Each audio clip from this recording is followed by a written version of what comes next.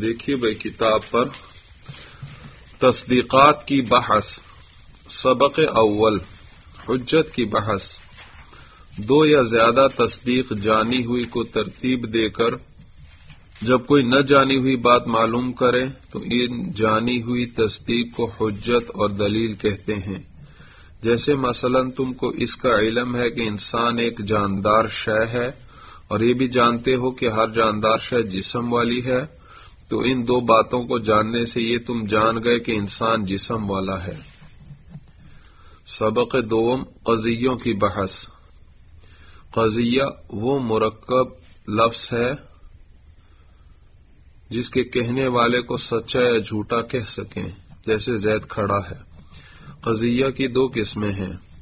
قضیہ حملیہ اور قضیہ شرطیہ۔ اچھا بھائی، آج ہم تصدیقات کے بارے میں پڑھیں گے۔ آپ نے پڑھا تھا گزشتہ سبق میں کہ دو یا زیادہ معلوم تصوروں کو ترتیب دے کر ہم کس کو حاصل کرتے ہیں؟ مجہور تصور کو۔ اور وہ جو دو یا زیادہ معلوم تصور ہیں، جن جو آپ کو آگے پہنچاتے ہیں مجہور تصور تک۔ تو وہ جو معلوم تصور ہیں ان کو کیا کہتے ہیں؟ تعریف اور معرف بھی ان کا نام اور قول شارح بھی ان کا نام۔ لیکن اگر یہی چیز تصدیق میں آئے کہ دو یا زیادہ تصدیقوں کو ملایا اور انہوں نے آپ کو ایک تیسری تصدیق ایک مجہول تصدیق تک پہنچا دیا تو یہ جو معلوم تصدیقات ہیں جنہوں نے آگے مجہول تک پہنچایا تو یہ جو معلوم تصدیقات ہیں، ان کو دلیل اور حجت کہتے ہیں۔ کیا کہتے ہیں؟ دلیل اور حجت۔ دلیل دلیل تو نام سے پتہ چل رہا ہے۔ یہ دلالت سے ہے، دلالت۔ اور دلالت کا کیا معنی؟ رہنمائی کرنا۔ رہنمائی کرنا، پتہ بتلانا۔ ایک چیز کیا کرے، دوسری چیز کا پتہ بتلائے۔ اس کو دلالت کہتے ہیں۔ اسی سے دلیل ہے۔ دلیل وہ چیزیں جو آگے ایک مجہور ایک تیسری چیز تک ہماری رہنمائی کر دیں۔ دیکھو وہ معلوم تصدیقات نے ہماری رہنمائی کی کہاں تک؟ مجہور تصدیق تک۔ تو اس لیے ان کو دلیل کہتے ہیں۔ اور نیز ان کا دوسرا نام حجت ہے، حجت۔ حجت کا معنی ہے غالب آنا۔ جب آپ دلیل دیتے ہیں تو آپ اپنے مخالف پر غالب آ جاتے ہیں۔ بحث کے اندر اس پر آپ غالب آ جاتے ہیں۔ بحث اسی طرح ہوتی ہے نا، وہ اپنی دلیل پیش کرے گا، آپ اپنی دلیل پیش کریں گے۔ تو جب آپ دلیل پیش کریں گے اور منطقی قوانین کے مطابق دلیل ذکر کریں گے، تو آپ اپنے مخالف پر غالب آ جائیں گے۔ تو اس لیے یہ جو معلوم تصدیقات ہیں، ان کو جو ہمیں پہنچا رہے ہیں کہاں تک؟ مجبور تصدیق تک۔ تو ان معلوم تصدیقات کو حجت بھی کہتے ہیں، کیونکہ ان کی وجہ سے انسان اپنے مخالف پر بحث کے اندر غالب آ جاتا ہے۔ اور نیز ان کو دلیل بھی کہتے ہیں، کیونکہ یہ ہمیں، ہماری رہنمائی کرتی ہیں کہاں تک؟ مجبور تصدیق تک۔ وہی ان کی طرف ہماری رہنمائی کرتی ہیں۔ اس کی مثال میں نے ذکر کی تھی۔ مثلا آپ کہتے ہیں کہ میں اس مدرسے میں پڑھتا ہوں اور اس مدرسے میں پڑھنے والا ہر طالب علم بڑا منطقی ہے۔ نتیجہ کیا نکلا کہ میں بھی بڑا منطقی ہوں۔ یہ جیسے اس کتاب والے نے مثال دی۔ مثلا آپ کہتے ہیں انسان ایک جاندار ہے۔ ایک انسان ایک جاندار۔ دیکھو، نتیجہ خود بخود آپ کو، آپ کے سامنے آ جائے گا۔ انسان ایک جاندار شے ہے اور ہر جاندار شے جسم والی ہوتی ہے۔ نتیجہ کیا نکلا؟ کہ انسان جسم والا ہے۔ انسان ایک جاندار شے ہے اور ہر جاندار شے جسم والی ہوتی ہے۔ نتیجہ کیا نکلا؟ کہ انسان بھی جسم والا ہے۔ تو دیکھو، یہ دو معلوم تصدیقوں نے آپ کو کہاں تک پہنچا دیا؟ مجہول تصدیق تک پہنچا دیا۔ یا جیسے آپ کہتے ہیں آج آسمان پر گہرے بادل چھائے ہوئے ہیں اور جس دن آسمان پر گہرے بادل چھائے ہوں اس دن بارش ضرور ہوتی ہے۔ نتیجہ کیا نکلا؟ کہ آج بارش ضرور ہوگی۔ دیکھا یہ دو تصدیقوں کو ملایا تو انہوں نے خود بخود ہماری رہنمائی کر دی۔ کہاں تک؟ مجہول تصدیق تک۔ یہ جو معلوم تصدیقات تھیں ان کو تو کیا کہتے ہیں؟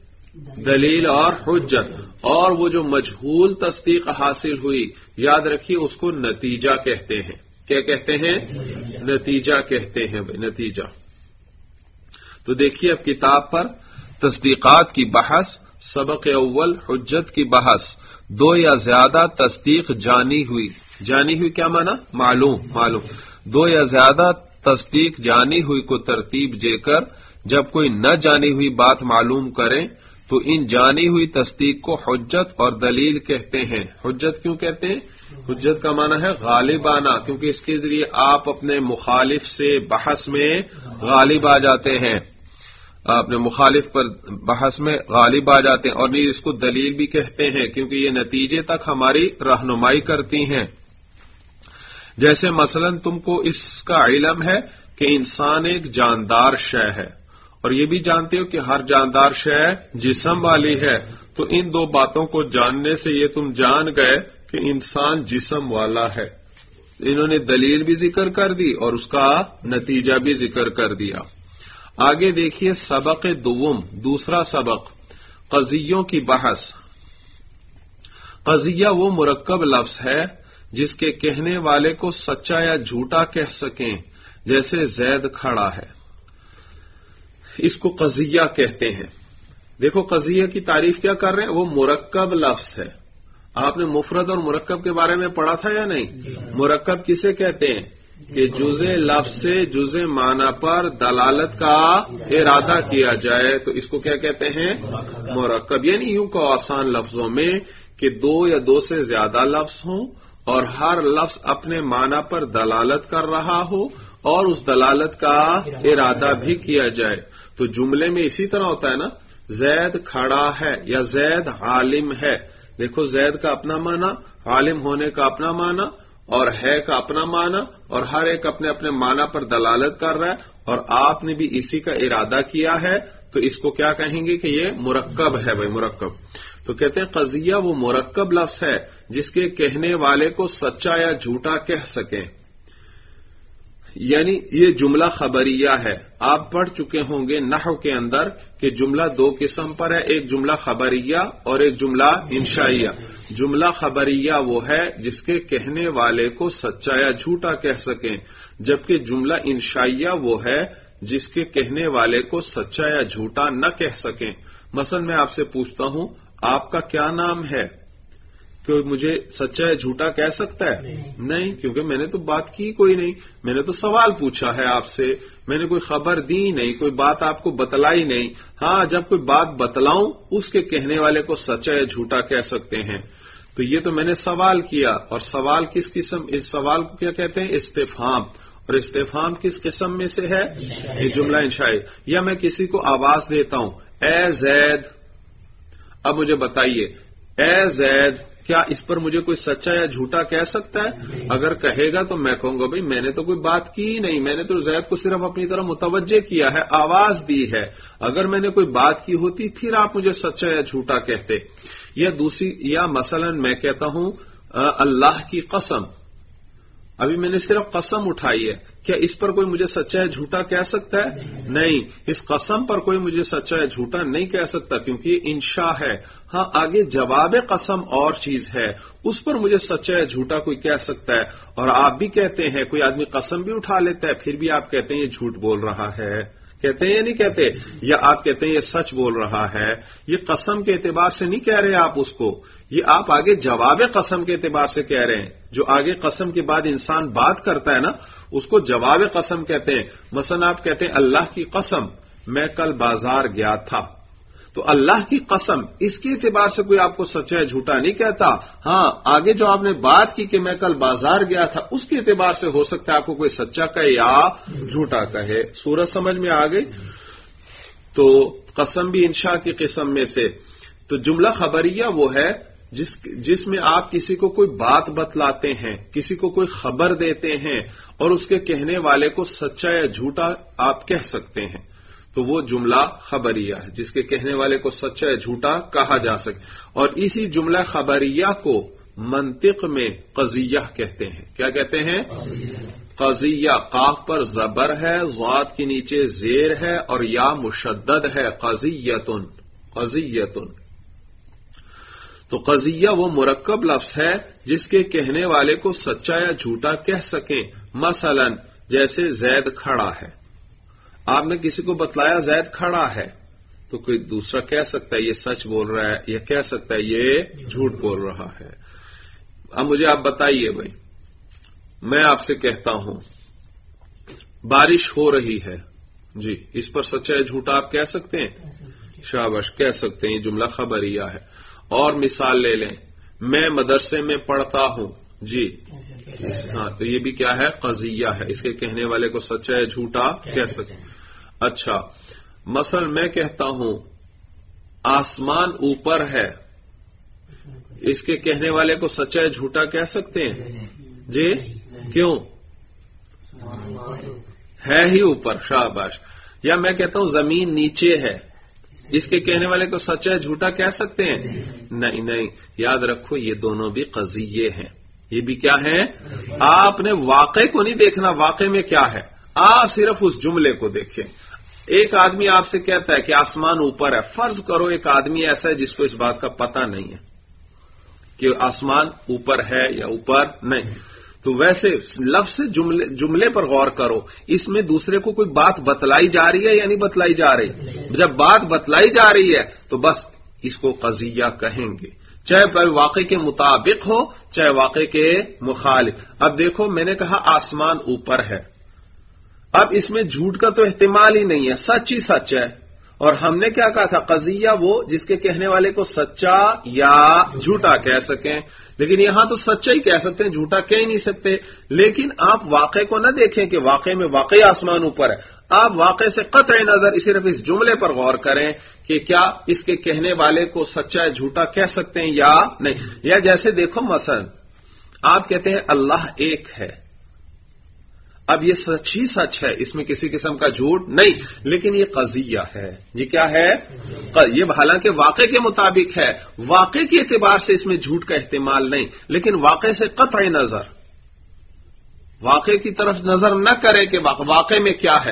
ویسے اس جملے پر غور کریں۔ اس میں کوئی بات بتلائی جا رہی ہے کہ نہیں بتلائی جا رہی؟ بات تو بتلائی جا رہی ہے اور اس کی جب بھی کوئی بات بتلائے تو اس کے کہنے والے کو کیا کہہ سکتے ہیں؟ سچا ہے جھوٹا کہہ سکتے ہیں۔ اسی لیے آپ دیکھتے ہیں، کافر اس کو رد کرتے ہیں یا نہیں کرتے؟ وہ نہیں مانتے۔ بات سمجھ میں آ گئی؟ تو قضیے میں آپ یاد رکھیں، آپ نے واقع کو نہیں دیکھنا۔ آپ نے صرف اس جملے پر غور کرنا ہے یا مثلا میں آپ سے کہتا ہوں، زمین اوپر ہے۔ زمین اوپر۔ اب اس میں تو جھوٹی جھوٹ ہے۔ سچ کا تو کوئی احتمال ہی نہیں، لیکن قطع نظر واقع کے آپ صرف اس جملے پر غور کریں، زمین اوپر ہے۔ اس میں کوئی بات بتلائی جا رہی ہے کہ نہیں بتلائی جا رہی؟ بات بتلائی جا رہی ہے، خبر دی جائے اور ہر خبر کے دینے والے کو سچا یا جھوٹا کہہ سکتے ہیں۔ اس میں واقع کو آپ نے نہیں دیکھنا کہ یہ واقع کے مطابق ہے یا مخالف ہے۔ بس اس لفظوں پہ غور کرنا ہے۔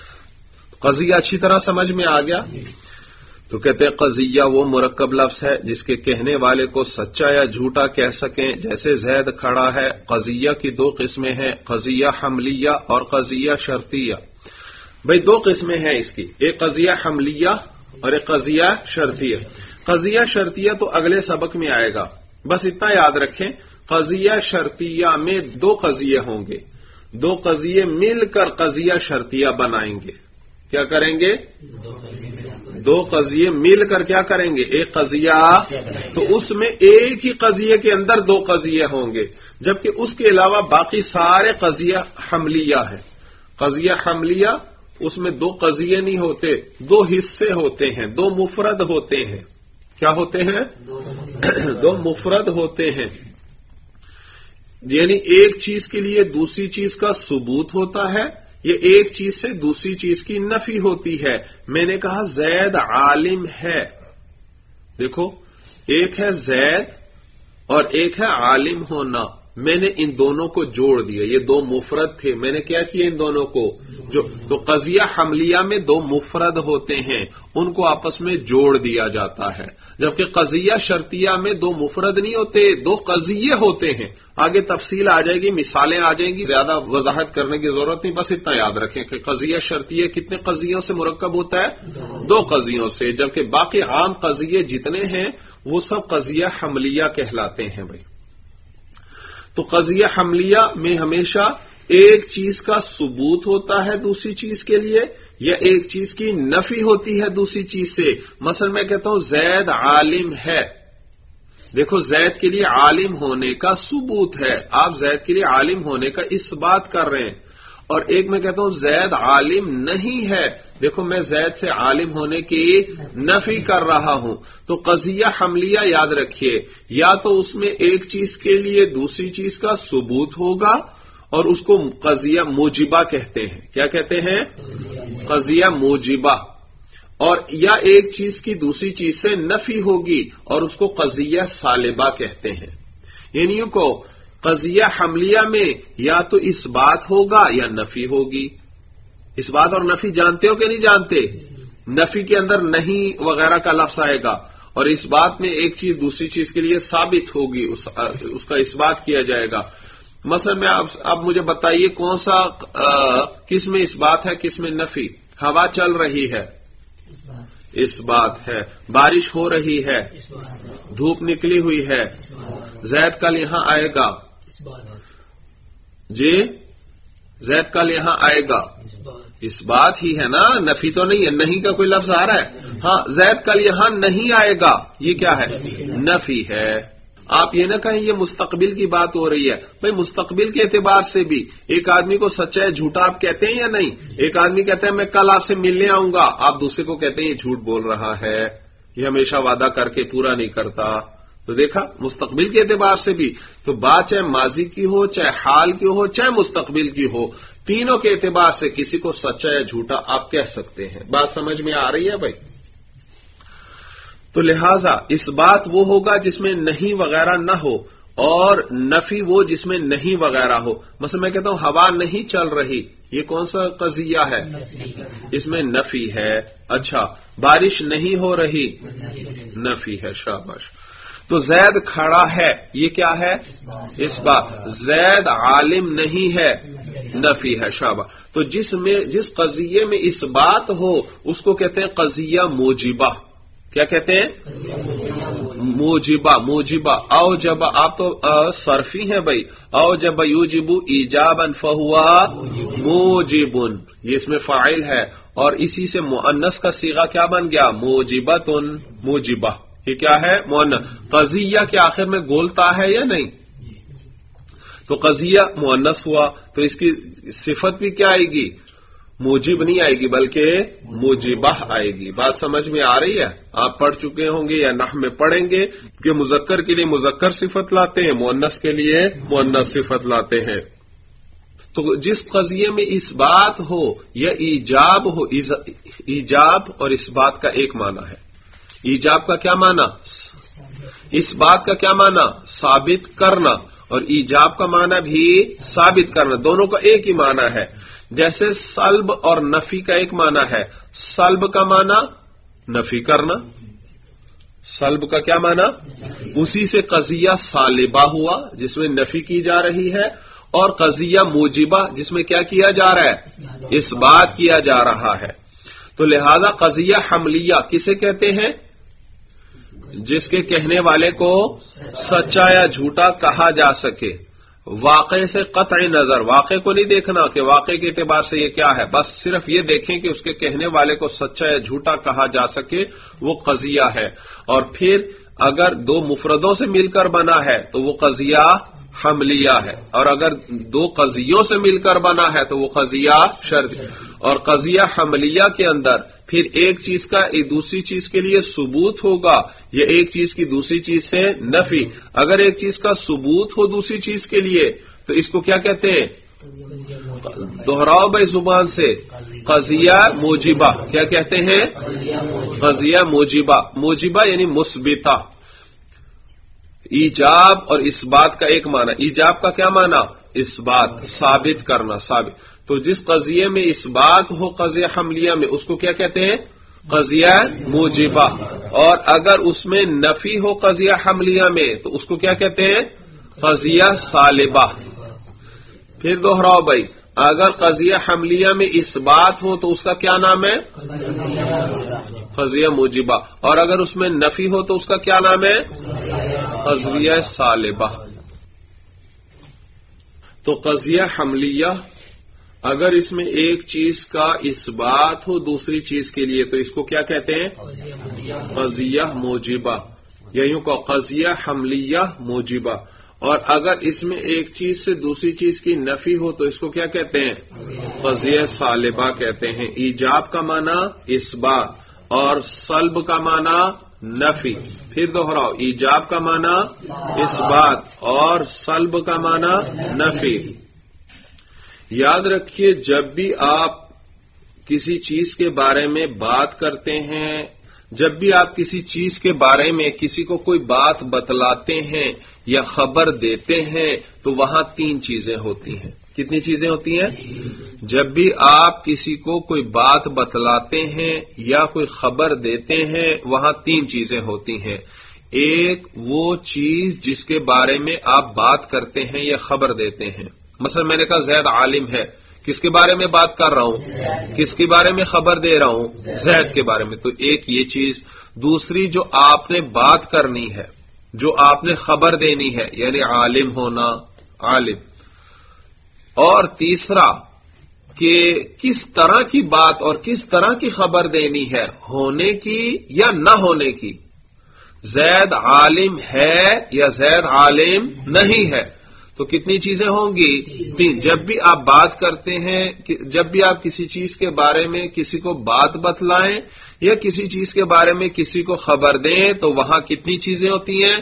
تین چیزیں۔ پہلی چیز کیا؟ وہ چیز جس کے بارے میں بات کریں یا جس کے بارے میں خبر دیں۔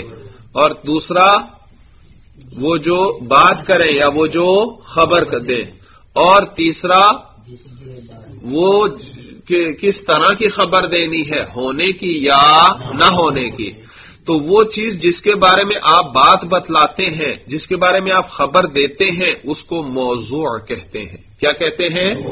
موضوع۔ یہ آگے کتاب میں بھی آ رہا ہے، میم واد و اور عین، موضوع۔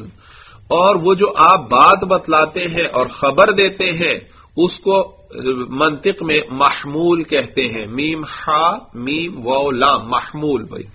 اور وہ جو ہونا ہونا بتلاتے ہیں یا نہ ہونا، اس کو رابطہ کہتے ہیں۔ کیا کہتے ہیں؟ رابطہ کہتے ہیں۔ تو جب بھی آپ کسی چیز کے بارے میں کسی کو بات بتلائیں، یا کسی چیز کے بارے میں کسی کو خبر دیں، وہاں کتنی چیزیں ہوں گی؟ تین۔ نمبر ایک جس کے بارے میں بات کی جائے اس کو کیا کہتے ہیں؟ موضوع۔ اور دوسری وہ جو بات کی جائے اس کو کیا کہتے ہیں؟ محمول۔ اور کس طرح کی بات آپ کرتے ہیں؟ ہونے کی یا نہ ہونے کی اس کو کیا کہتے ہیں؟ رابطہ رابطہ۔ بھائی آپ کو یہ میں پہلے بتا چکا ہوں۔ کہ ایک ہے قول معقول، ایک ہے قول ملفوظ۔ جب بھی آپ کوئی بات کرتے ہیں، بات پہلے آپ کے ذہن میں آتی ہے اور پھر آپ اس کو زبان سے ادا کرتے ہیں۔ تو جب تک بات ذہن میں ہے، اس کو کیا کہیں گے؟ وہ قول معقول ہے۔ اور جو زبان سے ادا کر رہے ہیں، اس کو کیا کہتے ہیں؟ قول ملفوظ کہتے ہیں۔ یاد رکھیے جو منطق کی جتنی بحثیں ہم پڑھ رہے ہیں یہ سارے قول معقول کے اعتبار سے ہیں۔ کس اعتبار سے ہیں؟ یہ ساری قسمیں اور تقسیم وغیرہ قول معقول کے اعتبار سے ہیں۔ لیکن چونکہ قول ملفوظ اسی قول معقول پر دلالت کرتا ہے، تو لہذا اس قول ملفوظ پر بھی یہی حکم، یہی نام اس کے بھی رکھ دیے جاتے ہیں۔ مثلا دیکھو مثلا دیکھو انسان ایک کلی ہے۔ انسان کیا ہے؟ زید بھی انسان امر بھی انسان، بکر بھی انسان، تو انسان کیا ہے؟ کلی۔ لیکن انسان کا لفظ نہیں کلی۔ انسان کا مفہوم جو آپ کے ذہن میں ہے، وہ کلی ہے۔ کلی اور جوزی ہونا کس کا، کس میں ہوتا ہے؟ کلی اور جوزی مفہوم ہوا کرتا ہے۔ تو انسان کا جو مفہوم ہے، وہ کلی ہے۔ لیکن اسی لفظ انسان کو بھی پھر کلی کہہ دیتے ہیں، کیونکہ انسان اسی مفہوم پر دلالت کر رہا ہے۔ بات سمجھ میں آ گئی؟ یا جیسے زید، میں نے لفظ زید بولا تو آپ کے ذہن میں زید کی ذات آ گئی۔ تو یہ ہے زید کا مفہوم۔ یہ کیا ہے؟ زید کا مفہوم۔ اور یہ جوزی ہے۔ یہ مفہوم کیا ہے؟ جوزی ہے۔ تو جوزی ہونا یہ اس مفہوم کو کہیں گے۔ لیکن چونکہ لفظ زید اسی مفہوم پر کیا کر رہا ہے؟ تو اس لفظ زید کو بھی پھر جوزی کہہ دیا جاتا ہے۔ حالانکہ در حقیقت کلی اور جوزی لفظ نہیں ہوتے بلکہ کلی اور جزی مفہوم ہوتے ہیں۔ تو کلی اور جزی ہونا یہ مفہوم ہوتا ہے، لیکن اس مفہوم پر جو لفظ دلالت کرے، اس کو بھی کلی اور جزی کہہ دیا جاتا ہے، کیونکہ وہ اسی مفہوم پر کیا کر رہا ہے؟ دلالت کر رہا ہے۔ تو انسان کلی ہے در حقیقت انسان کا لفظ نہیں کلی، بلکہ انسان کا مفہوم کلی۔ لیکن لفظ انسان کو بھی کیا کہہ دیا جاتا ہے؟ کہ انسان کلی ہے۔ اسی طرح زید کا مفہوم جزی ہے، لیکن لفظ زید کو بھی کیا کہہ دیا جاتا ہے؟ جزی کہہ دیا جاتا ہے۔ بات سمجھ میں آ گئی؟ تو منطقی کی اصل توجہ قول معقول کی طرف ہوتی ہے۔ لیکن وہ قول ملفوظ سے بھی اس کو بحث کرنا پڑتی ہے کیونکہ عقل میں آنے والی بات کو دوسرے تک پہنچانے کے لیے لفظوں کا سہارا لینا پڑتا ہے۔ جب تک بات آپ کی عقل میں ہے، دوسرے کو کچھ پتہ نہیں چلے گا اس کا۔ لیکن جب آپ لفظوں کے ذریعے دوسرے کو بتلائیں گے تو اب اس کو بات کا پتہ چلے گا۔ تو لہذا منطقی کو مجبوراً پھر کس سے بحث کرنا پڑتی ہے؟ قول ملفوظ سے بھی بحث کرنا پڑتی ہے۔ تو قول معقول وہ ہے جو ذہن میں ہے۔ قول ملفوظ وہ ہے جو ہم زبان سے ادا کریں، جس پر ہم تلفظ کریں، جس کو ہم بولیں۔ اور ایک قول مکتوب ہے، اسی بات کو جب ہم لکھ لیتے ہیں، تو دیکھو لکھے ہوئے حروف بھی اسی پر دلالت کرتے ہیں یا نہیں کرتے؟ جیسے جیسے زید کھڑا ہے، دیکھو، یہ لکھا ہوا، یہ قول مکتوب ہے بھائی۔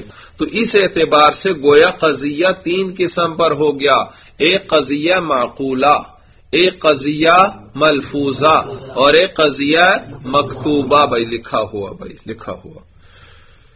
اب یاد رکھیے، دیکھو، مثلا میں نے آپ سے کہا زید عالم ہے۔ میں نے ذہن میں دو چیزوں کا تصور کیا۔ ایک زید کا اور ایک عالم ہونے کا۔ اور پھر اس عالم ہونے کو میں نے زید کے ساتھ جوڑ دیا۔ تو یہ جو عالم ہونے کو میں نے زید کے ساتھ جوڑا، اس کو کہتے ہیں رابطہ۔ کیا کہتے ہیں؟ رابطہ۔ دیکھو، ربط آ گیا یا نہیں؟ جڑ گئے نہیں؟ ربط کا کیا مانا ہوتا ہے؟ جوڑ جڑنا بھائی۔ تو ربط کا کیا مانا ہے؟ جڑ جانا۔ تو دیکھو دونوں میں ربط آ گیا۔ لیکن پھر یہ ربط کبھی اس بات والا ہوتا ہے، کبھی نفی والا۔ یعنی یا تو دوسری چیز کا، پہلی چیز کے لیے اس بات ہوگا یا نفی ہوگی۔ تو لہذا جب الفا جب زبان سے ہم ادا کریں گے، تو بعض زبانوں میں یہ رابطہ الگ ہمیں نظر آئے گا۔ بعض زبانوں کے اندر الگ لفظ نہیں۔ جیسے عربی زبان میں رابطہ لفظوں میں نہیں ہوتا۔ عربی میں زبان میں کہیں گے زید کھڑا ہے۔ عربی جیسے اردو میں ہے زید زید عالم ہے۔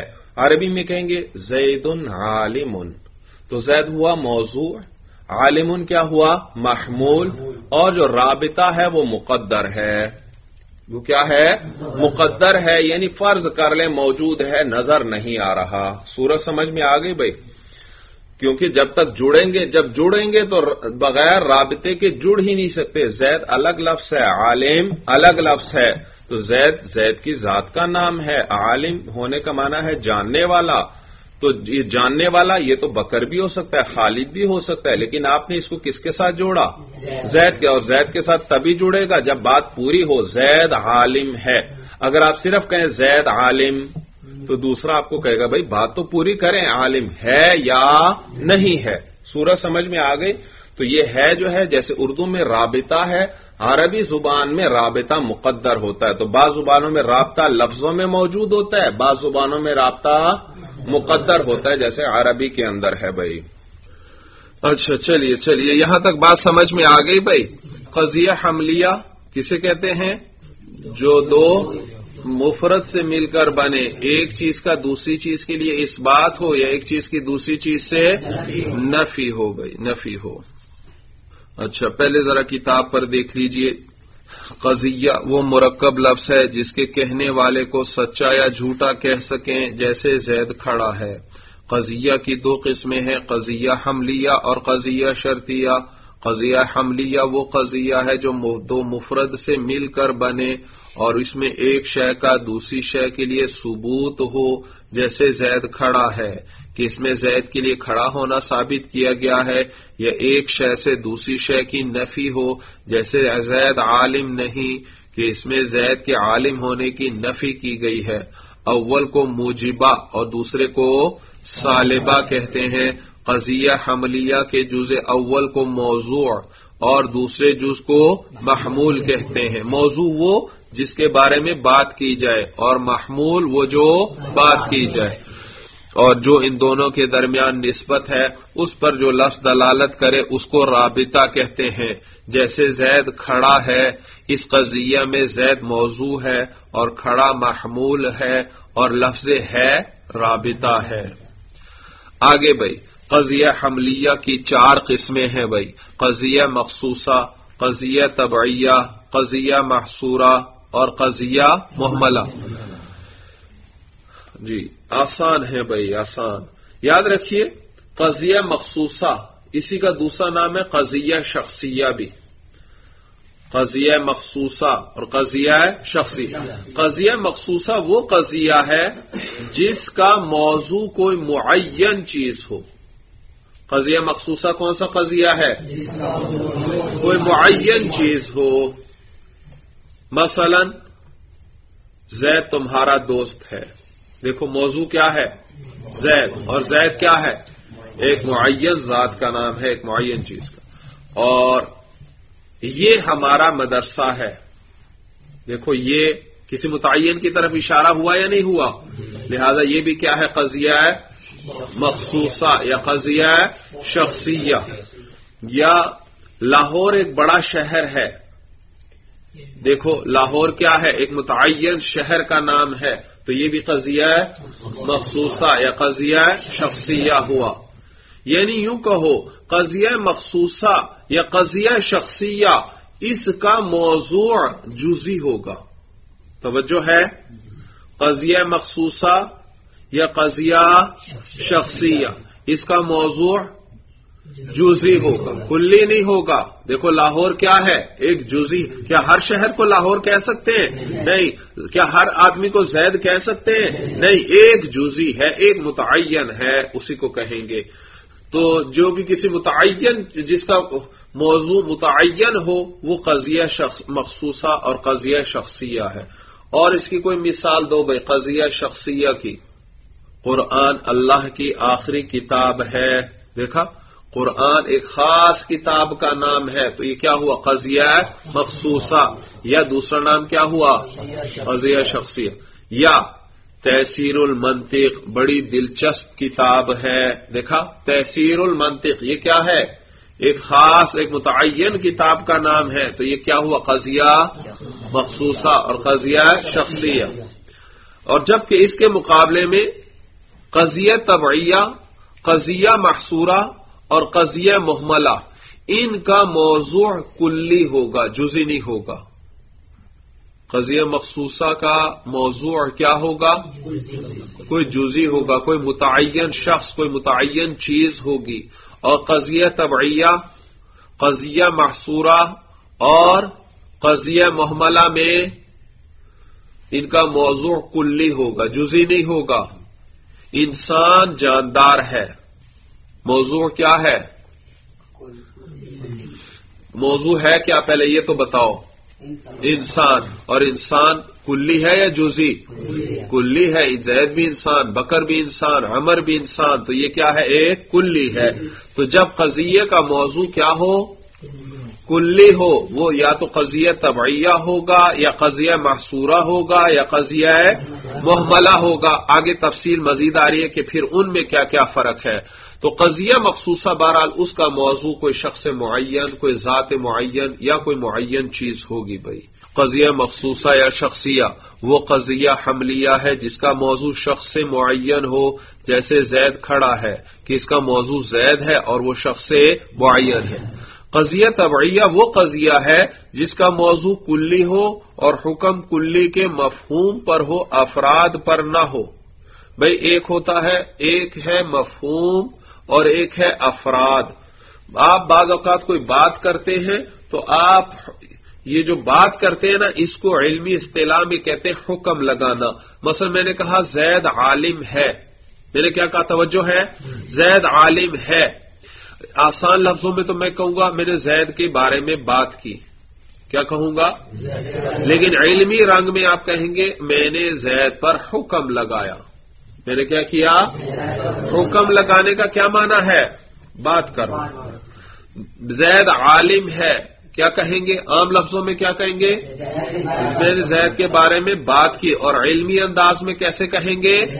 میں نے زید پر حکم لگایا۔ حکم لگایا۔ اب یہ جو حکم لگاتے ہیں، یاد رکھیے، موضوع پر آپ حکم لگاتے ہیں۔ موضوع کے بارے میں بات کرتے ہیں نا، تو موضوع پر کیا کرتے ہیں؟ حکم لگاتے ہیں۔ تو یہ حکم کبھی موضوع کے مفہوم کے اعتبار سے حکم لگا رہے ہوتے ہیں آپ، اور کبھی کبھار آپ اس کے افراد کے اعتبار سے حکم لگاتے ہیں۔ کس کے اعتبار سے؟ افراد۔ مثلا میں نے کہا، حیوان نوع ہے۔ حیوان نوع ہے۔ جی بتائیے۔ حیوان پر میں نے کیا حکم لگایا؟ نوع ہے۔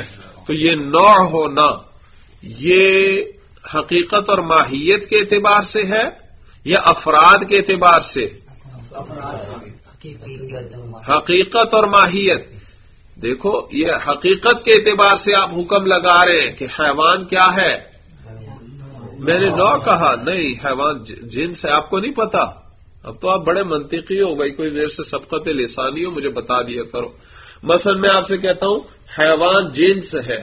حیوان کیا ہے؟ جنس ہے۔ اور ایک میں کہتا ہوں کہ حیوان، ہر حیوان مرنے والا ہے۔ اب مجھے بتائیے، مرنے والا ہے، یہ مرتا، مرنا، یہ حقیقت اور ماہیت مرتی ہے کہ افراد مرتے ہیں؟ افراد مرتے ہیں، تو یہ حکم ہر حیوان مرنے والا ہے۔ یہ کس اعتبار سے میں حکم لگا رہا ہوں؟ افراد کے اعتبار سے۔ حیوان کے افراد مرتے ہیں، حیوان کی حقیقت نہیں۔ حیوان کی حقیقت تو موجود ہے، وہ اسی طرح رہے گی۔ جسم النامن حساس المتحرک بل ارادہ، وہ تو ہمیشہ یہی رہے گی۔ تو جو مرتے ہیں یا زندہ ہوتے ہیں یہ افراد ہوتے ہیں، تو ہر حیوان مرنے والا ہے۔ یہ حکم میں کس کے اعتبار سے لگا رہا ہوں؟ افراد۔ اور ایک میں یوں کہتا ہوں، حیوان جنس ہے۔ حیوان جنس۔ یہ جنس ہونا، یاد رکھیے، یہ مفہوم کے اعتبار سے ہے۔ کس اعتبار سے ہے؟ مفہوم کے اعتبار سے ہے۔ سورج سمجھ میں آگے افراد کے اعتبار سے نہیں۔ مثلا حیوان کے افراد گائے ہے تو کیا گائے جنس ہے؟ بیل جنس ہے بکری جنس ہے؟ نہیں۔ تو یہ جنس ہونے کا حکم جو میں کس پر لگا رہا ہوں؟ حیوان پر۔ یہ کس اعتبار سے ہے؟ مفہوم اور ماہیت کے اعتبار سے ہے۔ افراد کے اعتبار سے نہیں ہے بھائی۔ اب دیکھیے کتاب پر بھائی۔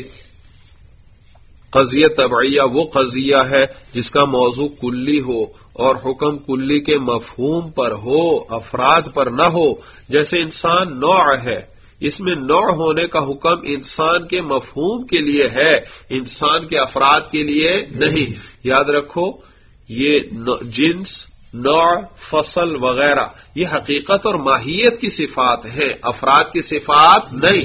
تو لہذا جب میں نے کہا انسان نوع ہے، تو یہ دراصل میں کس انسان کے افراد پر حکم لگا رہا ہوں یا اس کے مفہوم اور ماہیت پر حکم لگا رہا ہوں؟ مفہوم اور ماہیت پر میں حکم لگا رہا ہوں۔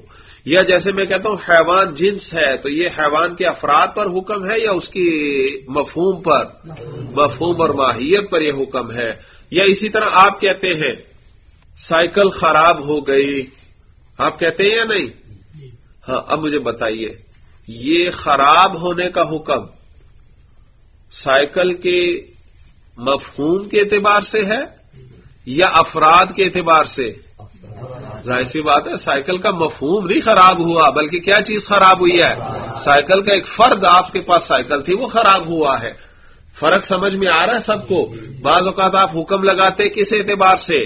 مفہوم کے اعتبار سے یا ماہیت کے اعتبار سے؟ اور بعض اوقات آپ حکم لگاتے کس اعتبار سے؟ افراد کے اعتبار سے حکم لگاتے ہیں۔ مثلا میں کہتا ہوں، کرسی ٹوٹ گئی۔ جی یہ کس اعتبار سے میں حکم لگا رہا ہوں؟ شاباش، افراد کے اعتبار سے حکم لگا رہا ہوں۔ اب یاد رکھیے یاد رکھیے۔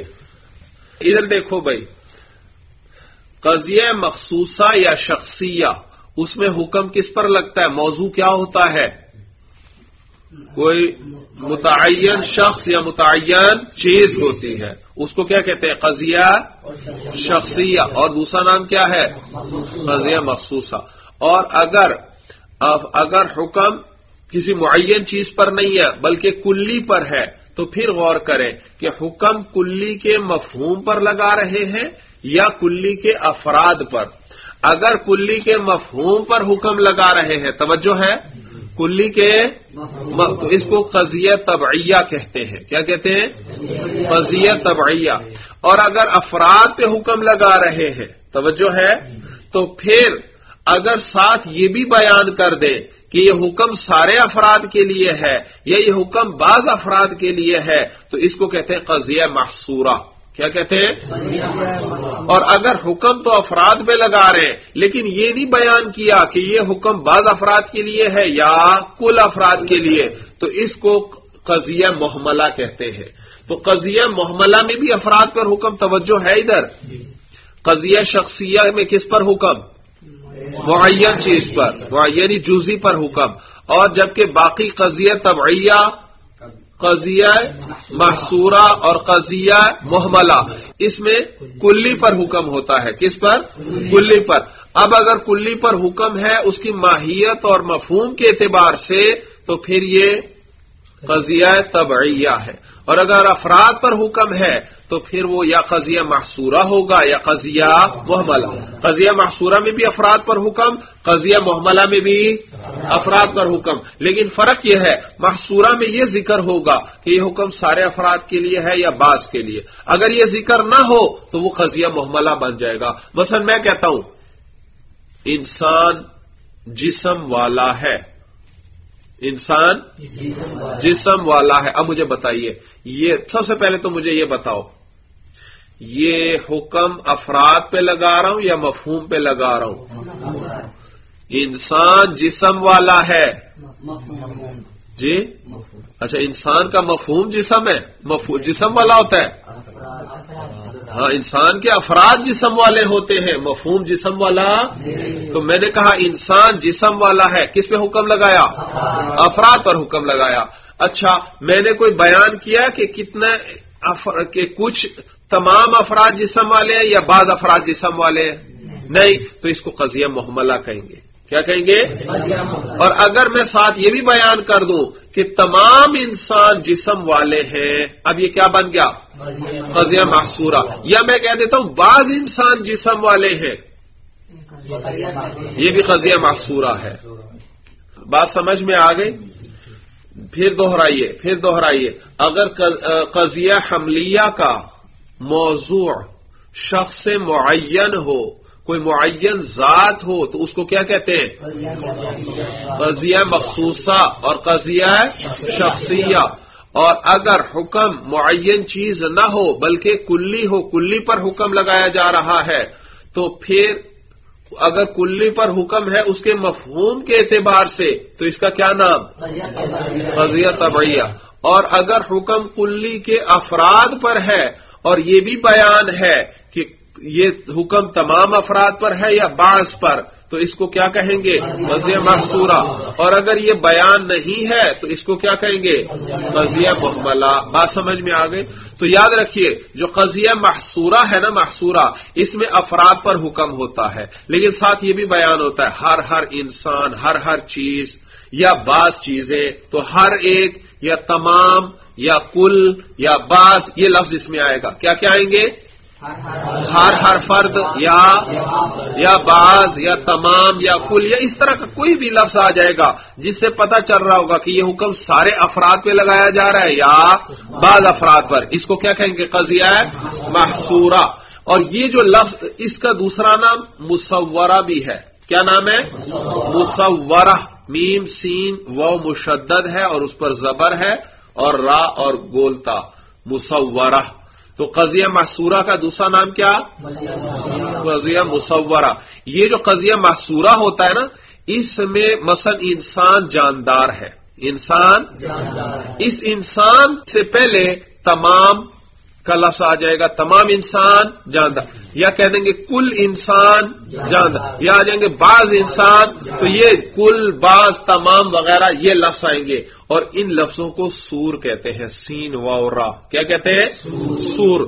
سور اصل میں قدیم زمانے میں شہر کے گرد ایک دیوار بنائی جاتی تھی حفاظت کے لیے۔ اس کو سور کہتے تھے۔ کیا کہتے تھے؟ سور کہتے تھے۔ تو تو جس طرح وہ دیوار پورے شہر کا احاطہ کر لیتی تھی، پورے شہر کو گھیر لیتی تھی۔ اسی طرح یہ جو شروع میں لفظ آیا، کل یا بعض، اس نے بھی کیا کر لیا؟ موضوع کو گھیر لیا، بتا دیا کہ سارے مراد ہیں یا بعض مراد ہیں۔ تو لہذا قضیہ محصورہ میں کل، بعض وغیرہ یا کچھ اس طرح کا لفظ آئے گا اور اس لفظ کو سور کہتے ہیں اور جس قضیے میں یہ سور آئے، اس کا اس کا نام کیا ہے؟ قضیہ مصورہ یعنی جس میں جو سور والا ہے، جس میں سور آ رہا ہے۔ یعنی سور والا جس میں سور آ رہا ہے، کل عباز وغیرہ کا لفظ۔ یہاں تک بات سمجھ میں آ گئی؟ اچھی طرح؟ اچھا چلیے، پہلے یہ دیکھ لیں، پھر آگے دیکھتے ہیں۔ قضیہ محصورہ، وہ قضیہ ہے جس کا موضوع کلی ہو۔ دیکھا، طبعیہ میں بھی موضوع کلی تھا اور محصورہ میں بھی موضوع۔ لیکن وہاں حکم تھا کلی کے مفہوم پر۔ اور یہاں پر آگے لکھا ہوا ہے کہ وہ جس کا موضوع کلی ہو اور حکم کلی کے افراد پر ہو۔ اور یہ بھی اس میں بیان کیا گیا ہو کہ حکم اس کلی کے ہر ہر فرد پر ہے یا بعض افراد پر؟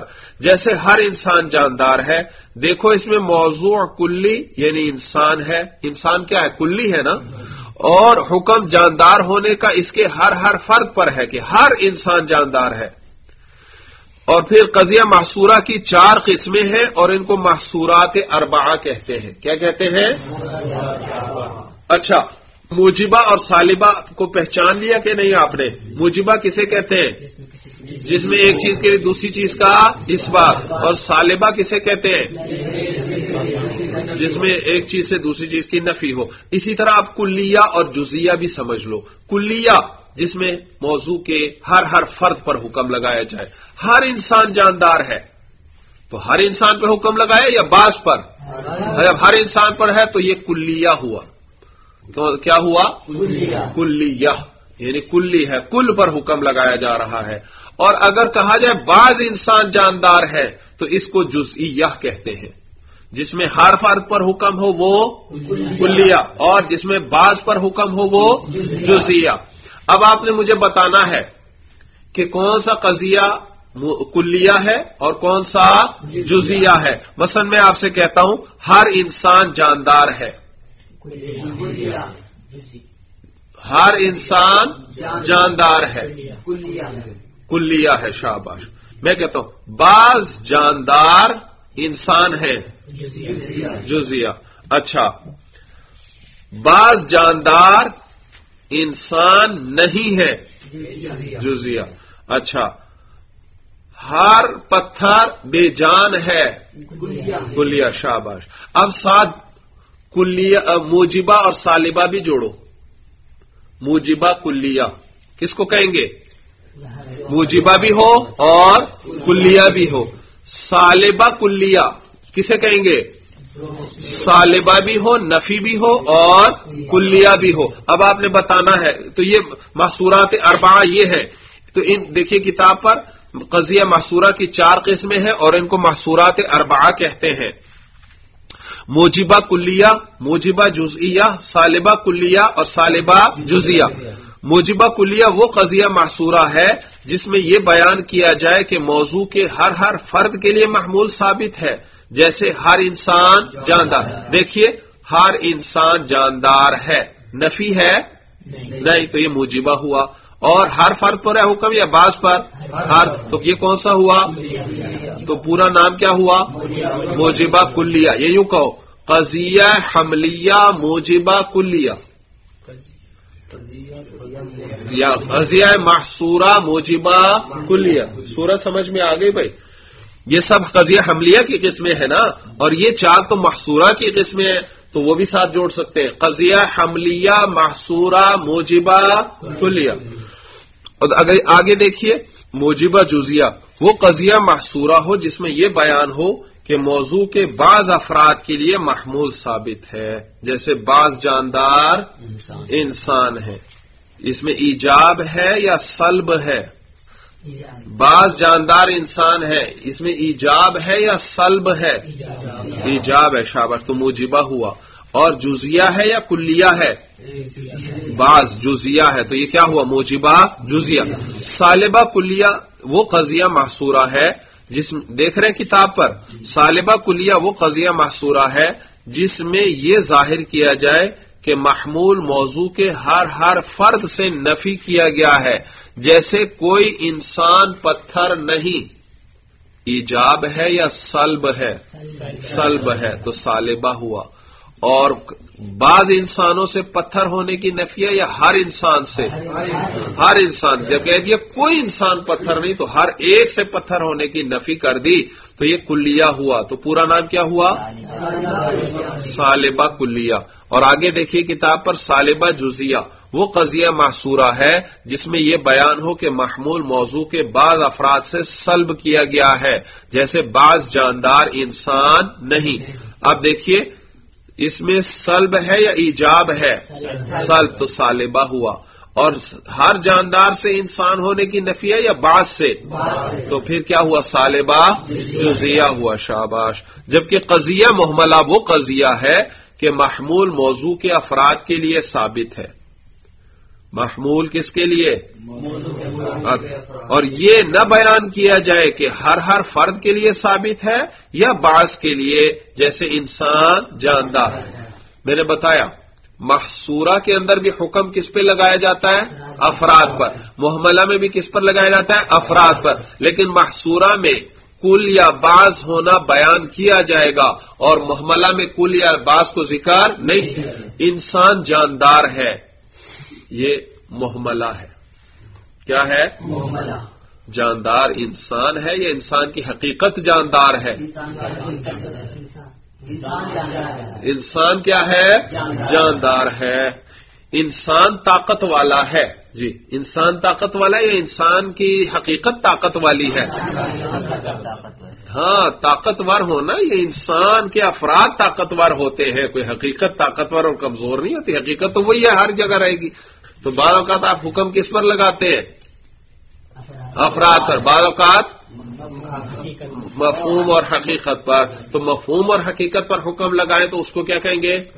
قضیہ طبعی اور اگر افراد پر حکم لگائیں اور سات افراد بھی ذکر ہوں کہ کتنے ہیں، کتنے کل یا بعض تو اس کو قضیہ معصورہ۔ اور اگر حکم لگائیں تو افراد پر، لیکن کل یا جز ہونا ذکر نہ ہو تو اس کو اس کو قضیہ محملہ کہتے ہیں۔ بات اچھی طرح سمجھ میں آ گئی۔ جی پھر دے مختصراً خلاصہ سمجھ لیں بھائی۔ آپ نے پڑھا، قضیہ وہ مرکب لفظ ہے جس کے کہنے والے کو سچا یا جھوٹا کہا جا سکے۔ پھر یہ دو قسم پر ہے، قضیہ حملیہ اور قضیہ شرطیہ۔ قضیہ حملیہ وہ ہے جو دو مفرد سے مرکب ہو، اور قضیہ شرطیہ وہ ہے جو دو قضیوں سے مرکب ہو۔ اور پھر آپ نے پڑھا، قضیہ حملیہ کے اندر تین چیزیں ہوتی ہیں۔ ایک موضوع، ایک محمول اور ایک رابطہ۔ اور پھر آپ نے پڑھا قضیہ حملیہ کی چار قسمیں ہیں۔ قضیہ مخصوصہ، قضیہ طبعیہ، قضیہ محصورہ اور قضیہ محملہ۔ قضیہ مخصوصہ کا دوسرا نام کیا؟ قضیہ شخصیہ۔ اور یہ اس قضیے کو کہتے ہیں جس کا موضوع شخص معین ہو یا ذات معین ہو۔ اور جبکہ باقی تین جو قضیہ حملیہ کی قسمیں ہیں، ان کا موضوع کلی ہوتی ہے۔ کوئی معین شخص، کوئی معین شخص یا معین ذات نہیں ہوتی۔ اور پھر اس میں اگر حکم کلی کے مفہوم پر لگایا جائے، اس کی حقیقت اور ماہیت پر حکم لگایا جائے، تو اس کا نام قضیہ طبعیہ ہے۔ اور اگر حکم افراد پر لگایا جائے اور ساتھ یہ بیان نہ کیا جائے کہ کل افراد مراد ہیں یا بعض۔ تو اس کا کیا نام ہے؟ قضیہ محملہ۔ اور اگر یہ ذکر کر دیا جائے کہ کل افراد مراد ہیں یا بعض افراد، تو اس کو کیا کہتے ہیں؟ قضیہ محصورہ۔ اور اس قضیہ محصورہ کا دوسرا نام کیا؟ قضیہ مصورہ۔ کیا نام ہے؟ مصورہ۔ اس میں سور ذکر ہو گئے، جو کل اور جز پہ جو لفظ دلالت کرے گا، اس کو سور کہتے ہیں۔ تو اس کا نام کیا؟ قضیہ مصورہ۔ اور اس قضیہ محصورہ کی چار قسمیں ہیں۔ نمبر ایک کیا؟ موجبہ کلیا دوسرا موجبہ جزیا تیسرا سالبہ کلیا اور چوتھا سالبہ جزیا شاباش بھائی۔ اچھا طبعیہ اور محمد اس میں فرق کیسے کریں گے؟ طبعیہ۔ دیکھو، میں نے ابھی کہا، انسان جاندار ہے۔ انسان جاندار ہے۔ توجہ ہے سب کی قیمتی بات ذکر کرنے لگا ہوں۔ میں نے کہا انسان جاندار ہے۔ یہ قضیہ طبعیہ ہے یا قضیہ محملہ ہے؟ انسان جاندار ہے۔ محصورہ تو ہے ہی نہیں نا۔ کل یا جز تو ذکر ہی نہیں۔ تو یہ قضیہ محملہ ہے یا قضیہ طبعیہ ہے۔ خصوصاً اشتباہ بڑا پڑتا ہے اس میں کہ یہ قضیہ طبعیہ ہے یا قضیہ محملہ ہے۔ تو اس میں یہ دیکھ لیا کرو کہ کل اور جز پہ حکم لگ سکتا ہے یا نہیں۔ اگر کل اور جز پہ حکم لگ سکے تو سمجھ جائیں یہ محملہ ہے۔ انسان جاندار ہے۔ آپ کہہ سکتے ہیں ہر انسان جاندار ہے۔ کہہ سکتے ہیں کہ نہیں کہہ سکتے؟ آپ کہہ سکتے ہیں بعض انسان جاندار ہیں۔ کہہ سکتے ہیں لیکن کہا نہیں گیا معلوم ہو یہ محملہ ہے۔ اور اگر آپ یہ نہیں کہہ سکتے ہر انسان جاندار ہے یا بعض اگر نہیں کہہ سکتے کوئی ایسی مثال آ گئی تو پھر آپ کہہ دیں گے یہ قضیہ محملہ نہیں ہے کیونکہ اس میں کل جز ہو ہی نہیں سکتا یہ کون سا قضیہ تب مثلا میں کہتا ہوں انسان نوع ہے۔ انسان اب آپ نے پتا چلانا ہے یہ طبعیہ ہے یا محملہ ہے۔ سور نہیں ذکر، نہ سور سے تو آپ فوراً پہچان لیں گے کہ یہ معصورہ ہے۔ افراد پہ حکم لگایا جا رہا ہے۔ بعض پہ یا کل افراد پہ حکم لگے گا نا، تو وہاں تو آپ فوراً محصورہ سے آپ پتہ چلا لیں گے کہ یہ حکم افراد پہ لگایا جا رہا ہے۔ لیکن طبعیہ اور محملہ میں فرق مشکل ہوتا ہے۔ کیسے پہچانیں گے؟ میں نے بتایا۔ اگر ایسا قضیہ ہے جس میں حکم لگایا جا رہا ہے اور کل اور جز ساتھ ذکر نہیں، تو پھر اس کے ساتھ کل اور جز کو جوڑ کر دیکھو۔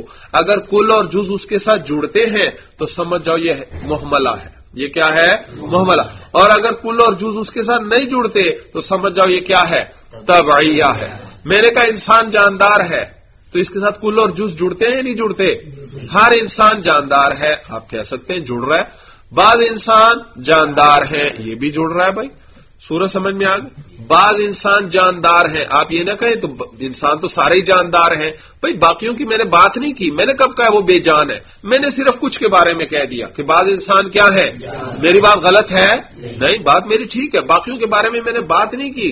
ان کے بارے میں خاموش رہنے کا یہ مطلب نہیں کہ میں کہہ رہا ہوں وہ جاندار نہیں ہے۔ میں نے کب کہا وہ جاندار نہیں ہے؟ میں نے صرف اتنا کہا ہے۔ بعض انسان کیا ہے میری بات ٹھیک ہے یا غلط مجھے بتائیں؟ بات ٹھیک ہے۔ تو دیکھا انسان جاندار ہے۔ اس میں کل پر بھی حکم لگا سکتے ہیں۔ ہر انسان جاندار ہے اور بعض پر بھی لگا سکتے ہیں۔ بعض انسان کیا ہے؟ لہذا معلوم ہوا انسان جاندار ہے۔ یہ قضیہ کون سا ہوا؟ محملہ ہوا۔ کیا ہوا؟ کل اور جز ذکر ہو سکتے ہیں لیکن ذکر نہیں کیے گئے۔ اور اگر کل اور جز نہیں ہو سکتا تو وہ قضیہ طبعیہ ہے۔ جیسے مثال میں ذکر کر رہا ہوں، انسان نوع ہے۔ اب مجھے بتاؤ، ہر انسان نوع ہے؟ ہر انسان نوع ہے؟ ہر، آپ نوع ہے نو تو اس کو کہتے ہیں، کس کو کہتے ہیں۔ جو ایک حقیقت والے افراد پر بولا جائے۔ کیا تھا؟ ایک حقیقت پر بول جائے وہ کلی ذاتی ہے جو ایسی جزیات پر بولی جائے کہ ان جزیات کی حقیقت کیا ہو۔ ایک ہو۔ سورج سمجھ میں آ گئے؟ تو ہر انسان نوع ہے یہ کہہ ہی نہیں سکتے۔ ہر انسان یا بعض انسان نوع ہے، یہ نہیں، کیونکہ نوع ہونے کا حکم افراد کے اعتبار سے نہیں ہے۔ یہ کس اعتبار سے ہے؟ مفہوم اور حقیقت کے اعتبار سے۔ انسان کی حقیقت کیا ہے؟ کہ وہ نوع ہے۔ وہ کیا ہے؟ نوع۔ یا اور مثال لے لیں۔ حیوان جنس ہے۔ حیوان کیا ہے؟ جنس ہے۔ اب مجھے بتائیے۔ طبعیہ ہے یا محملہ؟ کیا آپ کہہ سکتے ہیں؟ ہر حیوان جنس ہے۔ کیا گدا جنس ہے؟ گدا تو فرد ہوا نا اور جنس اور فصل، یہ تو کلیاں ہے یہ کیا ہے؟ کلی ہے۔ کیا ہے؟ اور ایک فرد وہ تو جزی ہوگا۔ نہیں سمجھ میں آ رہی میرا خیال، تھک گئے۔ سبق کی طرف توجہ ہی نہیں ہے۔ پھر دے سنو۔ طبعیہ اور محملہ میں فرق عموماً مشکل ہوتا ہے۔ اس کا طریقہ یہ ہے کہ اگر وہاں کلیت یا جزیت کو ذکر کیا جا سکے تو سمجھ جائیں کلیت اور جزیت ممکن تھی، پھر بھی ذکر نہیں کی گئی۔ معلوم ہو یہ محملہ ہے۔ کیا ہے؟ اور اگر کلیت اور جزیت کو ذکر کرنا وہاں درست ہی نہ ہو تو سمجھ جائے وہ کیا ہے؟ قضیہ طبعیہ ہے۔ مثلا مثلا میں نے کہا حیوان جنس ہے۔ اب یہ حیوان پر جو جنس ہونے کا حکم لگایا جاتا ہے، وہ اس کی ماہیت اور حقیقت اور مفہوم کے اعتبار سے لگایا جا رہا ہے کہ یہ وہ مفہوم ہے جو کثیرین میں مختلف حقیقتوں والے کثیر افراد میں چیزوں میں پایا جا رہا ہے۔ تو جنس، نوع، فصل وغیرہ، یہ جو حکم لگائے جاتے ہیں، یہ کس اعتبار سے ہوتے ہیں؟ مفہوم کے اعتبار سے ہوتے ہیں افراد کے اعتبار سے نہیں ہے لہذا حیوان جنس ہے۔ تو کیا آپ کہہ سکتے ہیں ہر حیوان جنس ہے؟ نہیں کہہ سکتے۔ بعض حیوان جنس ہے یہ بھی نہیں کہہ سکتے۔ لہذا معلوم ہوا یہ کیا ہے؟ قضیہ طبعیہ ہے۔ اچھا اب مجھے بتائیے انسان ضاحک ہے۔ انسان ضاحک ہے۔ مجھے بتائیے۔ یہ طبعیہ ہے یا محملہ؟ کیا آپ کہہ سکتے ہیں ہر انسان ضاحک ہے؟ کیا آپ کہہ سکتے ہیں بعض انسان ضاحک ہے ہر انسان ضاحک ہنسنے والا ہے یا نہیں؟ ہر انسان ہنسنے والا ہے۔ یا آپ کہہ سکتے ہیں، بعض انسان کیا ہے، ہنسنے۔ تو حقیقت ہنستی ہے یا انسان کے افراد ہنستے ہیں؟ انسان کے افراد ہنستے ہیں۔ حقیقت تو وہ پرزے کا نام ہے جیسے وہ چیز بنی ہے۔ اس میں ہنسنا نہ ہنسنے کی کیا بات ہے؟ اس میں طاقتور کمزور ہونے کی کیا بات ہے؟ تو اگر طاقتور ہونے کا حکم لگا رہے ہیں، وہ بھی افراد پر۔ اگر ظاہر ہونے کا حکم لگا رہے ہیں، وہ بھی کس اعتبار سے ہے؟ افراد کے اعتبار سے ہے۔ اچھا اور کوئی مثال دیں بھائی؟ انسان محنتی ہے۔ جی۔ یہ قضیہ طبعیہ ہے یا محملہ ہے؟ جی۔ محملہ ہے۔ محنتی انسان کے افراد ہوتے حقیقت نہیں محنتی، حقیقت تو اس کی حوالے ناطق ہے۔ اس میں محنتی نہ محنتی ہونے نہ ہونے کا کیا مطلب؟ وہ تو اس کی حقیقت ہے۔ وہ دو پرزے ہیں جن سے کیا ہے؟ انسان بنا ہے بھائی۔ اچھی طرح بات سمجھ میں آ گئی۔ یہ سوالات دیے ہوئے کتاب میں آخر میں یہ بھی حل کر لیتے مندر ذیل قضایا میں قضیہ کی اقسام بیان کرو۔ نمبر ایک عمر مسجد میں ہے۔ یہ کون سا قضیہ ہے؟ طبعیہ ہے یا محملہ ہے؟ جی۔ طبعیہ اور محملہ میں تو موضوع کلی ہوتا ہے۔ اور یہاں موضوع کون ہے؟ جزی ہے۔ تو یہ کیا ہوا؟ قضیہ مخصوصہ یا قضیہ شخصی ہے اور موجبہ ہے یا سالبہ۔ جی؟ ایجاب ہے یا سلب ہے؟ ایجاب ہے۔ تو قضیہ مخصوصہ موجبہ۔ بات سمجھ میں آ گئی؟ اچھا حیوان جنس ہے۔ جی یہ کون سا قضیہ ہے؟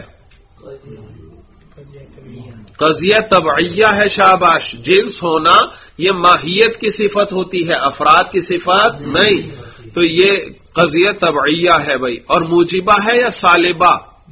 موجبہ ہے بھائی۔ اچھا ہر گھوڑا ہن ہناتا ہے۔ جی بتائیے۔ جی بولو۔ قضیہ طبعیہ ہے یا قضیہ محملہ ہے یا قضیہ محصورہ ہے؟ محصورہ ہے۔ ہر گھوڑا، دیکھا، ہن ہناتے افراد ہے حقیقت نہیں ہن ہناتی اس کی۔ اور کون سی قسم ہے؟ محصورہ کی کون سی قسم ہے؟ موجبہ ہے سالبہ ہے۔ اور کلیہ ہے، جزیہ ہے۔ کلیہ، تو موجبہ کلیہ ہوا۔ سورج سمجھ میں آ رہی ہے؟ کوئی گدھا بے جان نہیں۔ جی۔ کوئی گدھا بے جان نہیں۔ کوئی گدھا بے جان نہیں۔ جی۔ جی بولو۔ جی شاباش، کوئی گدا دیکھو، سب سے نفی کی جا رہی ہے۔ کوئی گدا بے جان بے جان ہونے کی نفی ہر ہر فرد سے کی جا رہی ہے۔ جب کل یا جز کا ذکر آ جائے تو سمجھ جائیں یہ کس پر حکم لگ رہا ہے۔ افراد پر۔ تو یہ کون سا قضیہ ہوا؟ قضیہ محصورہ۔ اچھا محصورہ کی کون سی قسم ہے؟ موجبہ ہے، سالبہ ہے۔ سالبہ۔ اور کلیہ ہے یا جزیہ ہے؟ کلیہ ہے۔ تو سالبہ کلیہ۔ کیا ہوا؟ سالبہ۔ سالبہ کلیہ۔ بات سب کو سمجھ میں آ رہی ہے؟ آگے ہے، بعض انسان لکھنے والے ہیں۔ جی یہ کون سا قضیہ ہے؟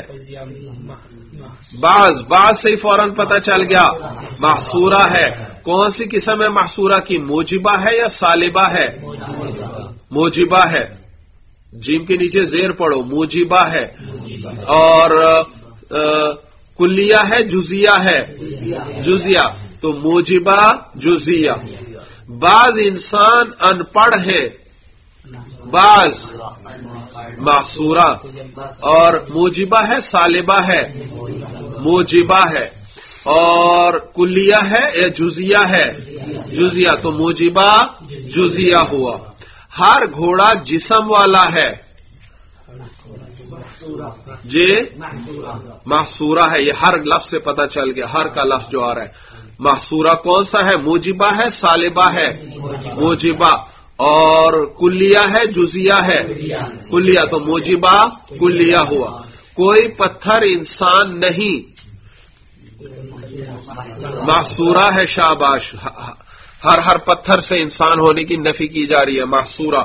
اور موجبہ ہے سالبہ سالبہ اور کلیہ ہے، جزیہ ہے۔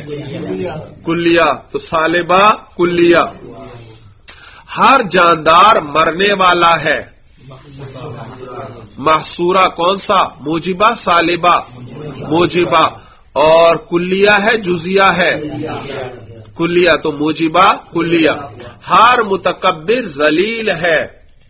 یہ کون سا ہوا؟ محصورہ شاباش۔ موجبہ ہے کلیہ موجبہ۔ اور کلیہ ہے یا جزیہ؟ کلیہ تو موجبہ کلیہ یا یوں کہو۔